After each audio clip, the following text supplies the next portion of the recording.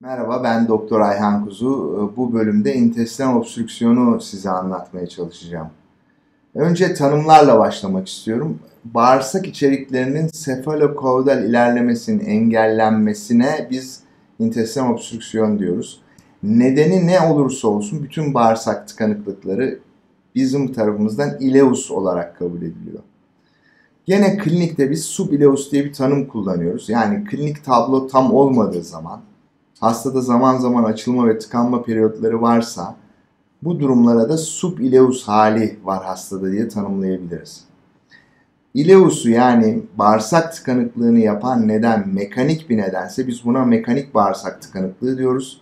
Yani sefalokaudal ilerlemede mekanik bir engel var. Yani bağırsağın önünde bir engel olduğu için mekanik olduğu için söylüyoruz.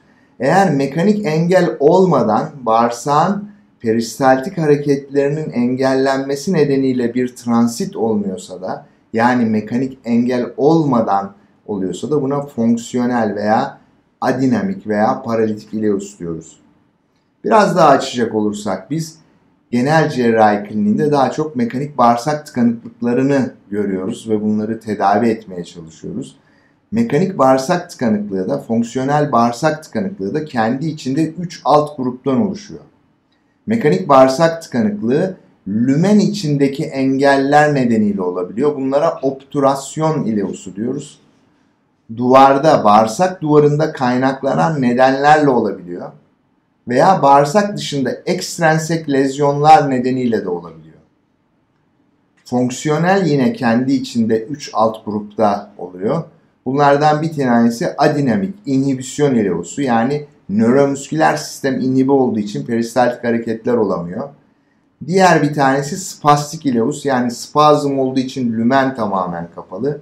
Diğer bir tanesi ise vasküler oklüzyon ki bu iskemi nedeniyle bağırsağa kan gelmediği için gene bağırsağın peristaltik hareketlerini yapacak kas kitlesi beslenemediği için herhangi bir hareket olmadığı için de gene fonksiyonel bağırsak tıkanıklığı oluyor. Şimdi biz mekanik bağırsak tıkanıklığını daha çok görüyoruz genel cerrahi kliniğinde. Bunun da kendi içinde bizim klinikte kullandığımız bir takım sınıflamaları var. Biraz karışık gibi gelebilir ama değil. Örneğin mekanik bağırsak tıkanıklığı tam mı parsiyel mi?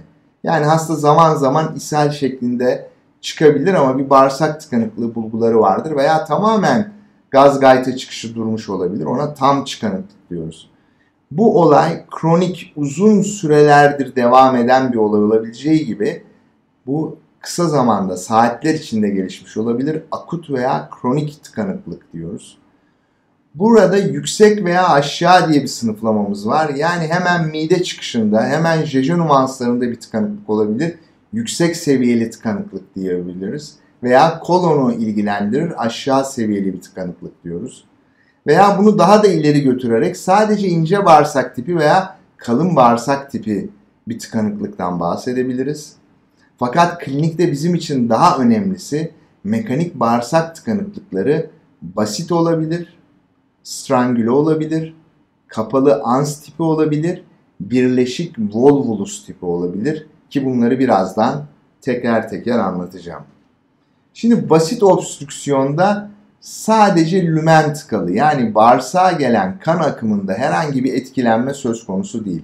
Yani önünde bir engel var. Örneğin bu bir yapışıklık olabilir önündeki engel veya bir tümör olabilir veya bir fıtık kesesi içinde sıkışıp kalmış olabilir. Yani burada sadece götürücü ans yani kavidale doğru ilerleme engellenmiştir. Gene invajinasyon bu şekilde olabilir. Yani proksimal bağırsak ansı distal bağırsak ansı içine girmiştir. Bu basit de olabilir ama burada gördüğünüz gibi kan damarları eğer sıkıştıysa strangüle tipte de olabilir. Burada da şematize olarak netlerden alınmış bir resim var. İlioçekal intusepsiyonu görmektesiniz. Kapalı ans tipi obstrüksiyonda ise bağırsağın her iki ucu tıkalıdır. Yani sadece distalde engel yoktur biriken artıklar proksimale doğru yani daha öndeki segmentlere doğru da ilerleyemiyordur. Örnek olarak göstereceksek sigmoid tam tıkalı ise bu hastada bağırsak içinde biriken gaz ve sıvılar geriye doğru ilioçekal valve kadar giderler ama ilioçekal valveden geri gidemedikleri için bu bir kapalı ans obstrüksiyonudur. Veya bağırsak kendi etrafında döndüyse hem getiren hem götüren ans tıkalıysa iki tarafa da gidemiyorsa ne ileri ne geri arada sıkışıp kaldıysa buna da kapalı ans tipi obstrüksiyon denmektedir.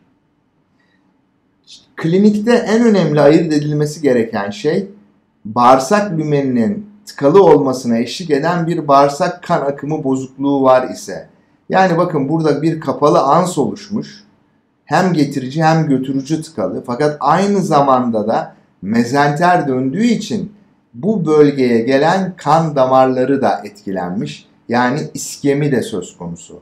Hem iskemisi var hem de bağırsak tıkanıklığı var. Daha şiddetli, daha ağır bir tablo.